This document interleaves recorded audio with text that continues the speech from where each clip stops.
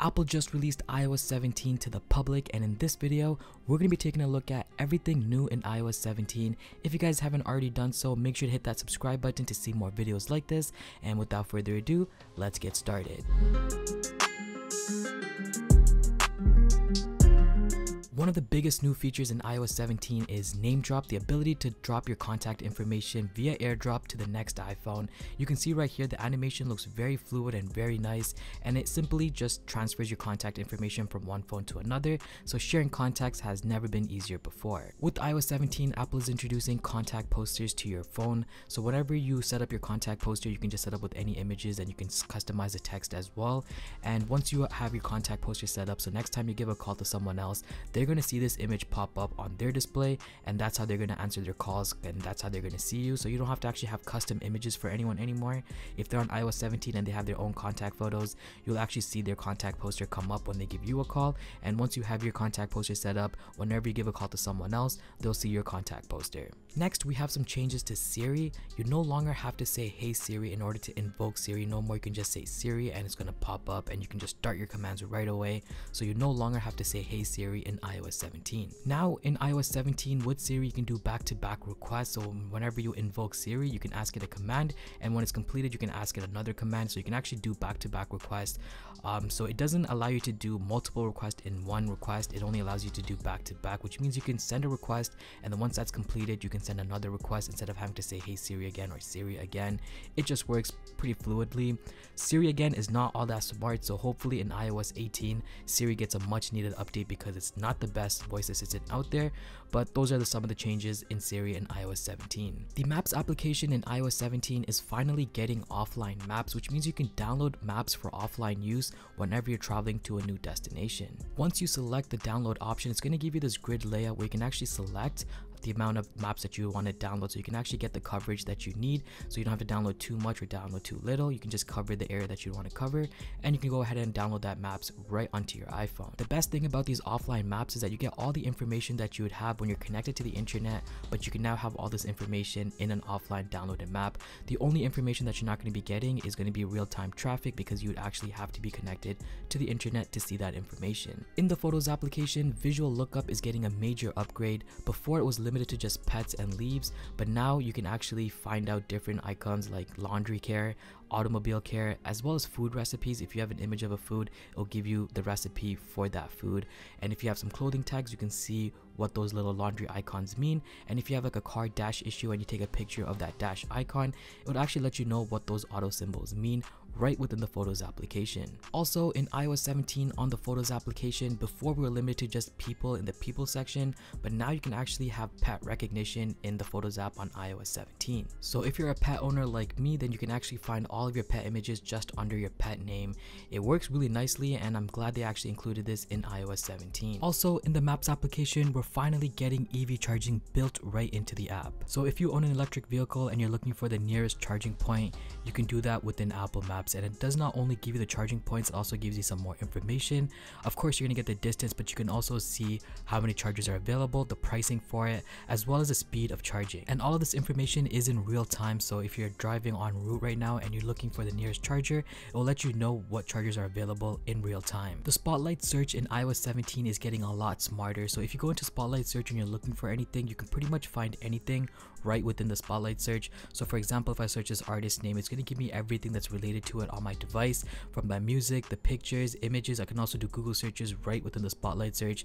So Spotlight search is definitely getting a bump up from last year. Also within the Spotlight search, you can now configure system toggles right within the Spotlight search. So if I pull down the Spotlight search and I want to turn on my Bluetooth, I can just type in Bluetooth and it's going to give me the toggle to toggle Bluetooth right within the Spotlight search. This also works with other controls like airplane mode, Wi-Fi, and so on, so you can actually do a lot more in Spotlight search than ever before. Apple Music got some really nice updates in iOS 17, so if you go into the music player and now you go into the now playing screen, you're gonna get a full screen animated artwork for the albums that are supporting this. It looks a lot cleaner than having just a square cover art.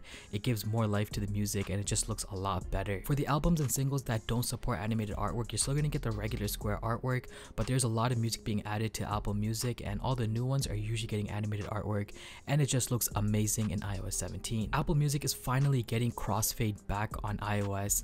Before this was available on iTunes on the desktop, but it was never available on the iPhone, but it's finally available in iPhones on iOS 17. You would have to turn this on so you can go into settings, music, and under the crossfade section, you want to just make sure that's turned on. And you can also customize the time seconds that you would want for the crossfade to apply. So right now I have it at 4 seconds, so the 4 seconds at the ending of a song, it's going to transition into the next song. It's just going to have this nice little fade sound effect and it just feels like the music is continuously playing without really stopping. I'd like to take a moment to thank the sponsor of this video, iToolab. Apple just announced the latest iPhone and if you're looking for a way to transfer your WhatsApp, iToolab has got you covered with its all new WhatsApp transfer tool WatsGo. It's the best all-in-one transfer tool for your WhatsApp data. With WatsGo, you can transfer your WhatsApp data easily from Android to iPhone, Android to Android, iPhone to Android, as well as iPhone to iPhone. Your contacts, messages, call history, images, videos, stickers, and more are easily transferred to your next phone. There's no need to factory reset your iPhone. WatsGo is capable of transferring large files without long waits or getting stuck. WatsGo is available on both PC and Mac, and all you have to do is connect your two phones and click transfer, and you're good to go. It's as easy as that. The best part is iToolab has a big sale right now and you can get up to 40% off. Check out the links in the description below for links and coupon codes. And now let's get back to the video. Before we had the option on Apple Watch to ping our iPhones, but now in iOS 17 you can ping your Apple Watch right from your iPhone. This is going to be available in the control center, so it is a control center toggle. So you'd have to actually have this enabled. It's not going to be there by default. And once you click on the icon, it will actually start pinging your Apple Watch. If you want to turn this on, you can just go into settings, control center, and just make sure that the icon is toggled on and available in your control center.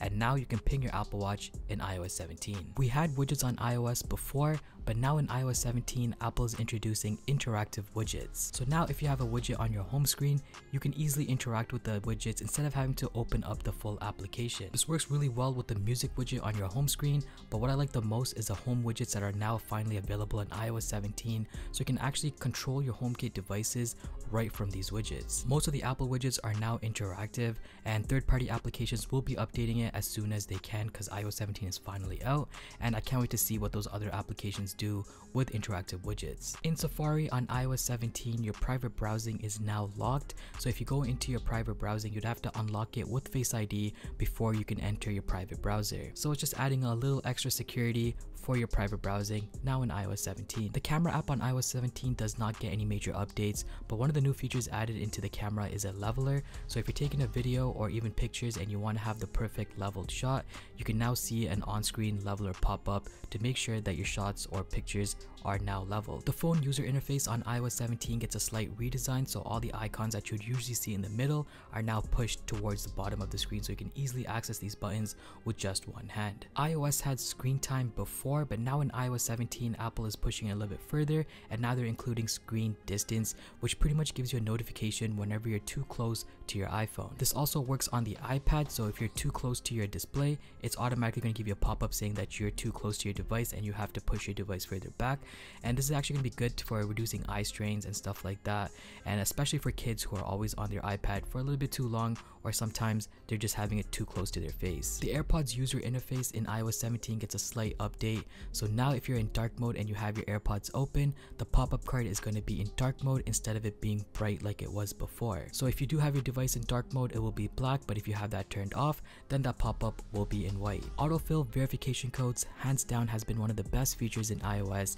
and it's getting even better in iOS 17. Previously, we were limited to just a text message verification codes, but now in iOS 17, it also supports email. So if you're getting a verification code on your email, it'll also pull that directly from your email and you can use that for autofill as well now. On top of that, we also get clean up verification codes automatically. So let's say you get a text message for a verification code and you already used it now in iOS 17, it's automatically going to remove that messages so your messages and your mail applications are not too cluttered with all these verification codes. In iOS 17, alongside with tvOS 17, if you have a Siri remote paired to your Apple TV, you can now locate your remote directly from your iPhone. All you have to do is pull down the control center and hit the remote icon and you can see which remote is connected to which TV. I currently have the Siri remote connected to my living room TV and you can see right beside it there's going to be a find icon and if I hit on that it's going to bring my find my screen and from here I can locate where the Siri remote is. You still can't play a sound to find your Siri remote because there is no built-in speaker into the Siri remote but nonetheless this is better than nothing. In iOS 16, Apple introduced custom lock screens and in iOS 17, Apple's bringing even more new wallpapers. My personal favorite wallpapers were the astronomy wallpapers. Before it was limited to just the earth and the moon, but now in iOS 17 you get every single planet and it just looks amazing in this high resolution wallpaper. Of course, you're going to be getting some other new wallpapers as well like Kaleidoscope and the new Unity wallpapers, but personally I have to say the astronomy wallpaper has been my favorite and I'm glad to see a major update in the astronomy wallpapers in iOS 17. And finally, Apple is introducing standby mode to the iPhones in iOS 17 and it turns your iPhone into a smart display whenever it's hooked up to a MagSafe or wireless charger and it's in its horizontal position. So if you're charging your phone at night on a stand like a MagSafe stand, you can have all these information pop up on the side on your nightstand. Especially if you have an iPhone 14 Pro or higher, this is going to be an always on display whenever it's charging and also has that red tone like the Apple Watch Ultra if you have the iPhone 14 Pro or an always on display iPhone. And that wraps it up for this video. If you guys want to see more videos like this, make sure to give this video a big thumbs up, subscribe down below, and I'll see you guys in the next video. Peace.